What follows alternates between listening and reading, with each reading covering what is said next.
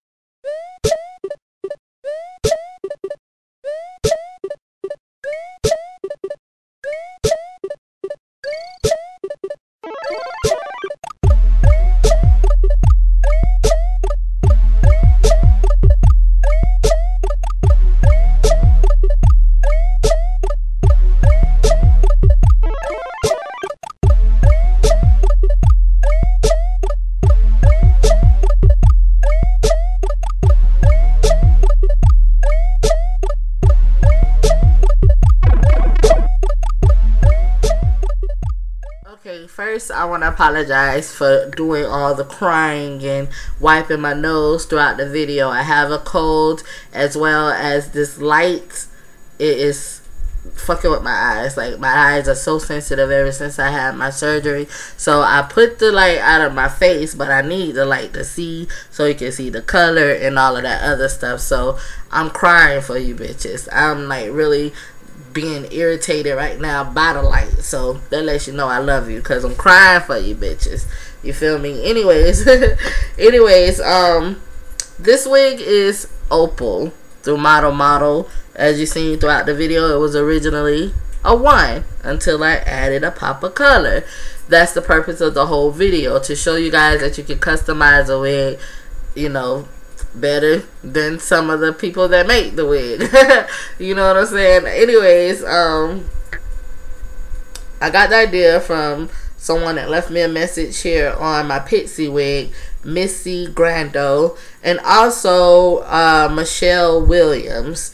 Uh, she's an actress and she has a, a channel here on YouTube as well. And she added some tracks to her natural hair and it, it looked good. So I said, let me add some tracks to this wig. So I found these tracks. Um, I can't even tell you what brand, where it's from. I don't even know what color this is. It's it's not really a purple purple. It's like a pinkish purple, sort sort of, you know, pinkish purple. So I don't know. Um, but it is human hair and so I had this hair I used this hair in one of my old videos a ponytail video and what I did was I glued it down with uh, glued several tracks in my hair with the Salon Pro now I want to let y'all know one thing with the glue, what you have to do is let it get tacky before you put it in your hair. Because if you put the glue on a track and then just put the track directly on your hair, it's not going to stick. If you let it get tacky, it's going to get tacky enough to stick and it won't really go anywhere. Um, so that is like a little tip and everything. To take the hair glue out, you can use the uh, Salon Pro 30 second hair bond remover um, to take the hair out because this is just a, a temporary hairdo. It's not permanent. You can, you know, switch up the colors and stuff. Now, I could have went a little bit funkier than the style that I came up with in the video. I could have spiked it up like this or something like that. But um, I realized that uh, during the video, this razor that I was using is not sharp enough.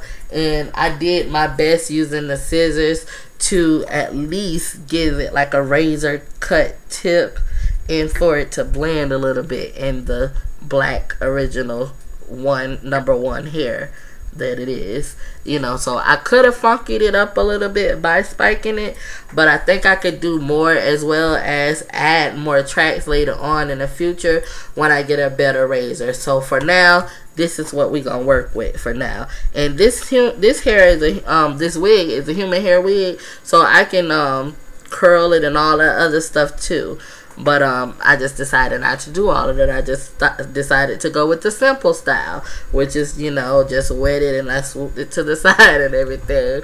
But um, you know you have your choices. You have different alternatives to manip manipulate the wig to do whatever you want it to do. Um, when you add tracks to the to the wig. Anyways, yeah. So um, this is just a little short tutorial on how to add tracks to your hair. To your wigs. My bad. Up to you. Either one. Whichever one you want to go with I'll work with. It's all up to you. I just like doing that. That is like so cool to me. I gotta figure out what I'm gonna do though when I get a better razor. I just need a better razor. Anyways, this is your girl Giggs. I don't wasted too much of y'all time already. This is your girl Giggs. Bye. Not real hard, it's plain and simple. Not real hard.